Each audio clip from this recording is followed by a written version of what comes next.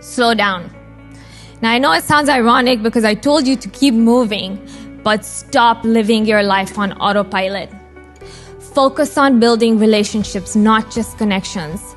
Spend time with the people that you love because that's what matters. You see, my mind, I have this mind, it's on overdrive. I think it's genetic. But basically, what happens is that I have to constantly be doing something. And so I realized the pain forced me to slow down. It forced me to reflect. It forced me to take the time I needed to get the help I needed. It forced me to build the relationships that I had lost. And most of all, I figured out what truly made me happy.